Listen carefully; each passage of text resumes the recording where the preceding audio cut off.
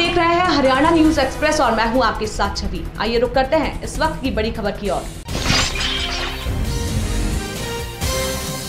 अंबाला में अपनी मांगों को लेकर भारतीय किसान यूनियन चढ़ोनी ग्रुप के किसानों ने उपायुक्त कार्यालय में अर्धनग्न होकर प्रदर्शन किया और अंतकाल की कॉपियों को जलाकर रोष प्रकट किया। मीडिया से बातचीत करते हुए किसानों ने बताया कि शहीद भगत सिंह के जन्म दिवस पर शुल्क मलकान जमीनों की मांगों को लेकर पूरे हरियाणा में डिस्ट्रिक्ट हेडक्वार्टर पर प्रदर्शन किया जा रहा है। किसानों ने अर्धनग्न होकर सुप्रीम कोर्ट के ऑर्डर और हरियाणा सरकार की ओर से जो इंतकाल तोड़ने के लिए ऑर्डर दिए हैं, उनकी कॉपियाँ जलाई। वहीं दूसरी तरफ़ किसानों ने बारिश की वजह से पूरे हरियाणा में बर्बाद हुई फ़सलों की गिरदावरी करवाने मुआवजा देने और छह महीने के लिए बैंकों की रिकवरी रोकने के बारे में ज्ञापन भी दिया। इसके साथ ही उन्होंने शामलात ज़मीनों के बारे में कहा कि अम्बाला में बीस हज़ार एकड़ से ऊपर की ज़मीनें हैं, जिसके बारे में उन्होंने बताया कि सरकार ने कार्यवाही रोक दी थी, लेकिन बाद में कोर्ट में अपना वकील भी पेश कर दिया था। उन्होंने कहा कि सरकार बोलती कुछ है और करती कुछ है। इसके साथ ही किसानों ने कहा कि सरकार ने किसानों को हर तरह से परेशान किया हुआ है। फ़सल खरीदनी हो या बेचनी हो, धान खरीदनी हो, उसके लिए हड़ताल करनी पड़ती है। उन्होंने कहा कि सरकार ने मजदूर, किसान, जवान, हर वर्ग को परेशान किया हुआ है। अम्बाला से हमारे विशेष संवाददाता सुरेंद्र भारद्वाज की रिपोर्ट।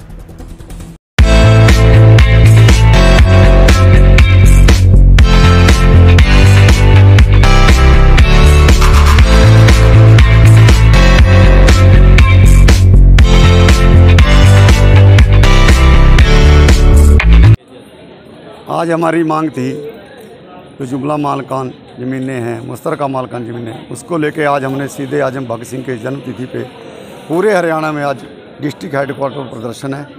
अर्ध नंगन होकर हमने सुप्रीम कोर्ट का जो ऑर्डर है, उसकी कापियाँ जलानी है और हरियाणा गवर्नमेंट ने जो ऑर्डर दिया डी को, इंतकाल तोड़ने के लिए उसकी कापियाँ जलाने के लिए आज हम यहाँ पर पहुँचे थे और वो कापियाँ हमने यहाँ पर जलाई हैं। और दूसरा हमारा एक ज्ञापन है, उसमें हमने मांग की है भी जो अभी बारिश से ज़्यादा होने से पूरे हरियाणा में इतनी फ़सलें बर्बाद हुई हैं। उनका किसानों को उचित मुआवजा दिया जाए और छः महीने के लिए जो रिकवरी है बैंकों की उसको रोक दिया जाए और मुआवजा जल्दी से जल्दी किसान को दिया जाए ताकि वो अगली फ़सल अपनी बीज सके। शामला जमीनों पे भी कार्रवाई रोकी हुई है सरकार ने? अम्बाला में कितनी ज़मीन है अम्बाड़ा में बहुत ज़मीन है।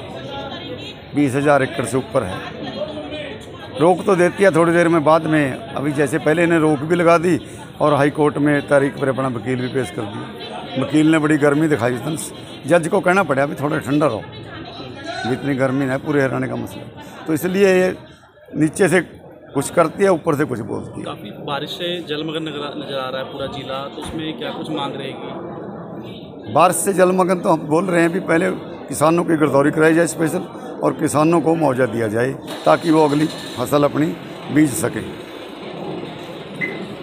हम भारतीय किसान यूनियन के चड़ौनी ग्रुप से आए हैं और सरकार जब से ये सरकार आई है 2014 से लेके उससे, उसके बाद हर एक वर्ग, गरीब, मजदूर, किसान, जवान सब दुखी हुए पड़े हैं। अब किसानों को इतना इतना परेशान कर रखा है कि जब भी हमें फ़सल खरीदनी पड़ती है या बेचनी पड़ती है, कुछ भी करना पड़ता है अगर हम जाएँगे बाज़ार में खाद खरीदने के लिए, तब इनको हड़ताल करनी पड़ती है। तब ये हमें को परेशान करते हैं। इन्होंने हर जगह परेशान कर रखा है। कहीं अभी हमारे ही जवान हैं जो सेना में भर्ती होते हैं और उन सेना के ऊपर इन्होंने अग्नि परीक्षा वो लगा दिया। चार साल अग्निपथ योजना चला दी। वो भी हमारे बेटे हैं। और ये हर जगह यानी कि हमारे को परेशान करने पे तुले हुए हैं। एक साल बैठ के वहाँ पे साढ़े सात सौ जाने कुर्बान करने के बाद भी सरकार को अकल नहीं आई। ये हमारे को मारने के ऊपर खड़ी है। हमारे को क्या ये पूरी हर एक वर्ग परेशान है। मज़दूर देखो, वो परेशान। किसान देखो, वो सड़क पे। जवान देखो, वो सड़क पे। तो क्या क्या ये सरकार हम देश को चलाएगी जो एक किसान और जवान को नहीं संभाल पाती? हमारे फेसबुक पेज को लाइक फॉलो और शेयर करें। साथ ही यूट्यूब चैनल को लाइक करें सब्सक्राइब करें और ताज़ा खबरों के लिए बेल आइकॉन को दबाना न भूलें।